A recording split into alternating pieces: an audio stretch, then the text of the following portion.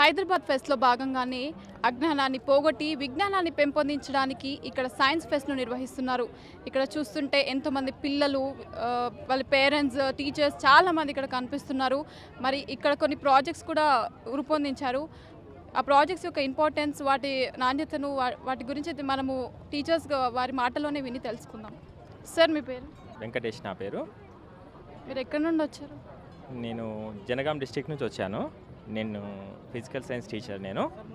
అయితే జన విజ్ఞానవేత్తలో గత ఫిఫ్టీన్ ఇయర్స్ నుంచి మేము రిసోర్స్ పర్సన్గా పనిచేస్తున్నాము. రకరకాలైనటువంటి ఎగ్జిబిట్స్ ద్వారా ప్రజల్లో సైన్స్ పట్ల మ- మంచి అవగాహన కల్పించడంలో భాగంగా మేము ఎగ్జిబిట్ని ఇక్కడ ఏర్పాటు చేయడం జరిగింది. మేము ఇక్కడ దాదాపుగా ఒక బయాలజీ లోపల ఒక ట్వంటీ ఎక్స్పెరిమెంట్స్ అంటే ట్వంటీ ప్రాజెక్ట్స్ మేము డిస్ప్లే చేయడం జరిగిందండి. మేము ఈరోజు మాత్రము ఒక ఫైవ్ సిక్స్ ఎగ్జిబిట్స్ మేము డిస్ప్లే చేశాము. మేము దాంట్లో ముఖ్యంగా ఇక్కడ మీరు చూస్తుండొచ్చు జంతు కణము తర్వాత వృక్ష కణము అదేవిధంగా గుండె యొక్క అంతర్నిర్మాణము డిఎన్ఏ స్ట్రక్చరు తర్వాత ఎకో సిస్టము తర్వాత డయో బయో బయోడైవర్సిటీ మీద కొన్ని ఎక్స్పెరిమెంట్స్ ఎగ్జిబిట్స్ మేము ఈరోజు ప్రదర్శిస్తున్నామండి. హార్ట్ అనేది నార్మల్గా heart heart beat heart functions గురించి చెప్తాము. పర్టికులర్గా మీరు హార్ట్ త్రీ మోడల్ అని పెట్టారు. దానికి గల రీజన్ ఏంటో మీరు చెప్తారా? అంటే నిజానికి ప్రజలకి హార్ట్ డిసీజెస్ అంటే మనకు ఇండియాలో హార్ట్ డిసీజెస్ రిస్క్ ఎక్కువ అండి. నిజానికి మన దేశంలో చాలా పేదవారు కానీ చాలా ఖరీదైనటువంటి జబ్బు హార్ట్ డిసీజ్ ఇది ఒక ఇండియన్స్కి చాలా ఎక్కువ శాతం ఇండియన్స్ ఇదే జబ్బుతోటి బాధపడుతున్నారు. అయితే వాళ్ళకి హార్ట్ ఒక వాల్స్ మీద తర్వాత హార్ట్లో ఉన్నటువంటి వాటికి సంబంధించినటువంటి రక్తనాళాలు తర్వాత దమనులు సిరలు వీటి మీద పూర్తి అవగాహన కల్పించడం అనేటువంటిది ముఖ్యంగా మాకు అనిపించడంతో మేము ఈ రకంగా అన్ని రకాలైనటువంటి ఆర్గాన్స్ మీద మేము త్రీ మోడల్స్ తయారు చేయడం జరిగింది. అందులో ప్రధానంగా హార్ట్ మీద ఎక్కువగా దృష్టి పెట్టి దానికి సంబంధించిన పూర్తి అవగాహన అసలు వాల్స్ ఏంటి ఎలా పాడవుతాయి దానివల్ల ఎటువంటి ప్రాబ్లమ్స్ వస్తాయి హార్ట్ బీట్ ఏంటి ఎలా ఉంటుంది ఎంత ఈ రకంగా మేము చెప్పడం దాని మా యొక్క ఉద్దేశం. యాక్చువల్గా సై చిల్డ్రన్ ఫెస్ట్ అని సైన్స్ ఫెస్ట్ అనే అంటే ఎక్కువ పిల్లలుగా పిల్లలు వస్తుంటూ ఉంటారు. మరి పేరెంట్స్ గురించి ఏంటి? పేరెంట్స్ రెస్పాన్స్ ఎలా ఉంది? పేరెంట్స్ కూడా మిమ్మల్ని వచ్చి దీని ఫంక్షన్స్ హార్ట్ ఫంక్షన్స్ గురించి డిఎన్ఏ గురించి డిఎన్ఏ కూడా చాలా ఇంపార్టెంట్ రోల్ ప్లే చేస్తుంది కదా? వాటి గురించి కూడా మిమ్మల్ని అడిగి తెలుసుకుంటున్నారా? మేము ముఖ్యంగా మేము ఎక్కువ కాన్సన్ట్రేట్ చేసేది పేరెంట్స్ పేరెంట్స్ తర్వాత కామన్ పీపుల్ మీదనే అండి. ఎందుకంటే ఇవన్నీ కూడా మనం క్లాస్ రూమ్లో చెప్పడం జరుగుతుంది. అయితే పేరెంట్స్కి మాత్రం అసలు వాళ్ళకు సెల్ అంటే తెలియదు. డిఎన్ఏ అంటే అసలే తెలియదు. అయితే మనం వాళ్ళకి చెప్పడం ద్వారా వాళ్ళకి ఒక చాలా ఇంట్రెస్టింగ్గా వాళ్ళు ఈ వీటి గురించి అడిగి తెలుసుకోవడం జరుగుతుంది. ఎందుకంటే కొత్త విషయం ఇది. వా- దీని ద్వారా వాళ్ళు ఏంటంటే అనేక విషయాలని వాళ్ళు నిజానికి తెలుసుకోగలుగుతున్నారు. వాళ్ళకి అర్థమయ్యే విధంగానే మేము బేసిక్ కాన్సెప్ట్స్ మీదనే ఎక్కువ దృష్టి పెట్టి అంటే అన్ని రకాల ప్ర- ప్రజలు ఇక్కడికి వస్తారు కాబట్టి వాళ్ళందరి మీద దృష్టి పెట్టుకొని మేము కామన్ అండ్ బేసిక్స్ థింగ్స్ని ఇక్కడ మా వాళ్ళకి ఇంట్రడ్యూస్ చేయడం జరుగుతుంది. వాళ్ళు చాలా ఇంట్రెస్టింగ్గా కూడా వాళ్ళు వీటిని ఎంజాయ్ చేస్తున్నారు వాళ్ళు చూడడం ద్వారా. సైంటిఫిక్ మెథడాలజీస్ కానీ అలాంటివి కూడా ఇంకా చాలా ప్రాజెక్ట్స్ కానీ ఇక్కడ కనిపిస్తున్నట్టుగా సైంటిఫిక్ మెథడ్స్ మీద మీరు ఇంకా కొత్తగా ఏమైనా చేయ చేశారా? ఓకే అండి. చాలా మంచి ప్రశ్న ఇస్తారు మమ్మల్ని చాలా మోటివేటెడ్ క్వశ్చన్ ఎందుకంటే మేము కూడా కంటెంట్ చెప్పడం మా యొక్క ఉద్దేశం కాదు. అసలు ఏంటంటే సైంటిఫిక్ మెథడ్ అనేటువంటిది వాళ్ళకు అంటే సైన్స్ ఏ రకంగా పనిచేస్తుంది? అంటే ఏ రకంగా సృష్టి లోపల అంటే ఈ రోజుల్లో టెక్నాలజీ అనేది ఎక్కువగా యూజ్ చేస్తున్నారు. ఎవ్రీథింగ్ డిపెండ్స్ ఆన్ టెక్నాలజీ కదా. అండ్ టెక్నాలజికల్గా సైంటిఫికల్గా మీరు ఏం ప్రూవ్ చేస్తున్నారు చే చేద్దామని జన విజ్ఞాన వేదిక అంటున్నారు.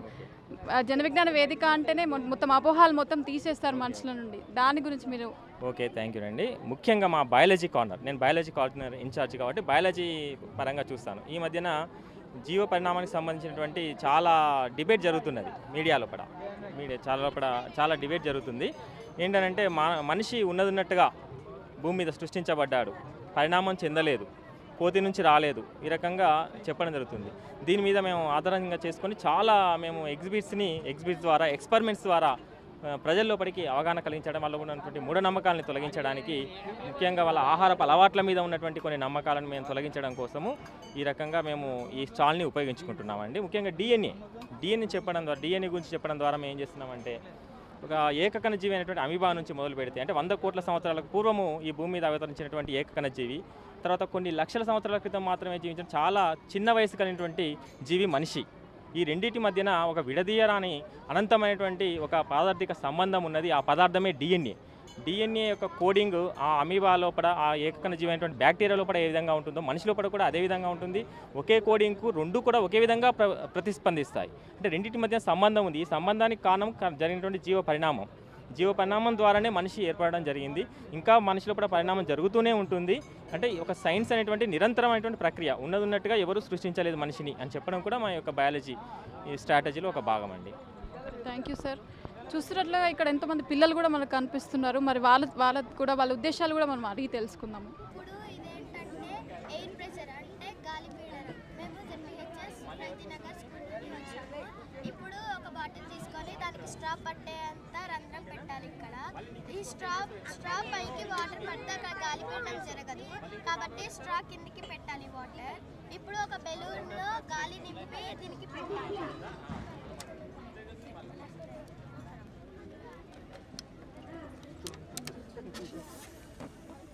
ఇక్కడ ఎయిర్ ప్రెషర్ జరుగుతుందంటే గాలి పీడనం. దీని సూత్రం మేము దీంట్లో గాలి పీడనం ఉందని మేము నిరూపిస్తున్నాము. సైన్స్ ఫెస్ట్లో భాగంగా ఇక్కడ వి- విద్యార్థులు ఎంతో విజ్ఞానంగా వినోదాత్మకంగా చాలా కాన్సెప్ట్స్తో మన ముందున్నారు. ఇక్కడ మోటార్ వెహికల్స్ అని ఆల్కహాల్ సెన్సార్స్ అని చాలా కాన్సెప్ట్స్ వాళ్ళు బయటకు వచ్చారు కొత్త కొత్త విజ్ఞానాలతో వాళ్ళు బయటకు వచ్చారు ఆ కాన్సెప్ట్స్ ఏంటో మరి వాళ్ళ ద్వారానే అడిగి తెలుసుకుందాము. Hello. Is Karthik. I am studying in Sri Adbindo School 6th class. We did this what is the concept of your project uh, alcohol sensor and automatic vehicle dipper. Uh, there are many ca- there are two cases in, in India. First one is alcohol drink and drive. The many pe- many people will drink and drive, so there are many accidents.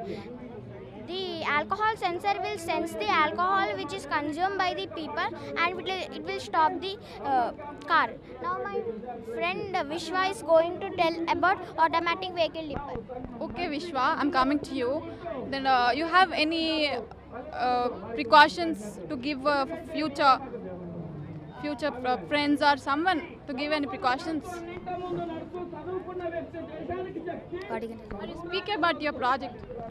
Before going to tell about my project, you know that so many accidents are occurring at night because of two main reasons. One is drinking and driving, another is driving with high beam. Both are very dangerous. To stop that, we made this invention. Assume this is a car, and this is a headlamp of another car. Both because of both are in high beam. Because of this, so many accidents are occurring. To stop the LDR will convert the high beam into low beam so that so that the boat driver can see clearly and they can move away. And my friend Shivansi is going to tell about alcohol sensor. This is the alcohol detector. The alcohol detector will indicate the smell of the alcohol indicate the smell of the alcohol which is which is consumed by the drive which is consumed by the driver there is a now you're having doubt that how does it in, indicates it indicates by the help of two signals the two signals are analog sig- analog signals and analog signal and digital signal Then suddenly, if the indicator stops, it doesn't work. Then what will you take the step? Further step? What is the further step you are going to take? it it doesn't stop it is connected if any- the car engine Of course, if the car engine gets spoiled, then what is the next step you give? that who is the driver he should take the next step thank you. చూస్తున్నాం కదండి ఇక్కడ alcohol మీద కూడా పిల్ల- చిన్నారులు ఎంతో అద్భుతంగా చేశారు. మరి ప్రికాషన్స్ కూడా ఇస్తున్నారు. అది స్టాప్ అవ్వదు అనే కాన్ఫిడెన్స్తో వాళ్ళు చెప్తున్నారు. ఇక్కడ స్టూడెంట్స్ వచ్చేసి అరబిందో స్కూల్ నుండి వీళ్ళు చెప్తున్నట్టుగా చెప్తున్నారు. అండ్ ఇక్కడ ఇది ఒకటే కాకుండా ఇంకా మోటార్ సైకిల్స్ అలాంటివి కూడా చాలా వితౌట్ ఫ్యూయల్ లేకుండా కూడా డ్రైవ్ డ్రైవ్ చేయొచ్చు అనే కాన్సెప్ట్స్తో చాలా కొత్త రకాలతో వాళ్ళు బయటకు వచ్చినట్టుగా అనిపిస్తుంది సైన్స్ ఫేర్లో భాగంగానే శ్రీది ఇన్స్టిట్యూట్ వాళ్ళు చేసిన కొత్తగా రూపొందించిన ఈ ప్రాజెక్ట్ని మనం ఇప్పుడు చూడబోతున్నాము వారి మాటల్లోనే ఆ ప్రాజెక్ట్ యొక్క వి- వివరాలను అడిగి తెలుసుకుందాము hello Hello, your name please M. Sai Prakash. Just tell me your project about Uh, this is a waiter replacement robot. We use this. We use this in hotels to replace waiters. Why do we actually use this? Is once you get a men- like you go to any hotel, you want to order something, you get a menu card from the waiter. He gives you a menu card. There, you uh, select something and order. Now the waiter goes to the kitchen, takes the food which you want, and then comes to you. This takes at least 30 minutes, 30 to 40 minutes. It wastes a lot of your time. Now this robot, what will this do is this will this is already there in the kitchen. Now you take the menu card, you order. The menu has a microphone. The menu card has a microphone. You order whatever you want to order. That order is uh, that order is consumed by this robot. Like it is directly uh, sent as a command to the robot. This robot has eyes. These eyes have LEDs, different colored LEDs for different light, uh, different food. Uh, in our menu, presently we have vegetarian and non-vegetarian these two uh, menus. Uh, veg we have a green light, non-veg we have a red light. Now once you order something, light glows and this tray comes out. The chef there comes to know what is what you have ordered based on the color color of the light. Now he puts the food on the tray, tray goes back, and the uh, now the part of the base comes. Base is uh, the concept behind this base is Node MCU, Internet of Things. We used uh, the Node MCU just because you can use it from anywhere. You can connect your uh, mobile via hotspot and control this, or you can use it through internet. You, you get a web page. In that web page, you have buttons left, right, front, back, stop. Using that, you receive to your customer. Customer has two more commands: open and close. Open, take the food. Like open, this tray opens. You can take the food, and then again close. It closes. I'll show you a small demonstration. So when the um, customer orders a food, for suppose if we take vegetarian, so he takes vegetarian food, and this is the menu for suppose vegetarian. The tray comes forward, and the chef places the food, and the tray goes back. If you notice, we have green lights here coming. Uh, And for suppose if we take a non-vegetarian food, non-vegetarian. The red light comes and the chef knows that is a non-vegetarian food and he places the non-vegetarian food. Now this moves to the table and um, when the customer actually wants to take the food inside it, he uh, asks the robot to open. Open. The tray again comes out, He takes the food, takes the food, and again you can close it. close. Tray goes in. Uh, this goes back to the kitchen and waits for the next customer. Okay thank you guys చూస్తున్నాం కదా మనం కొత్త కొత్త ఇనిషియేటివ్స్తో చాలా అద్భుతంగా వీళ్ళు రూపొందిస్తున్నారు ఇంకా ఫ్యూచర్లో మరెన్నో రోబోటిక్స్ ప్రయత్నాలతో వీళ్ళు బయటకు వస్తున్నట్లుగా కనిపిస్తున్నారు కెమెరామెన్ నరేష్తో నీతిక మాస్ వాయిస్ హైదరాబాద్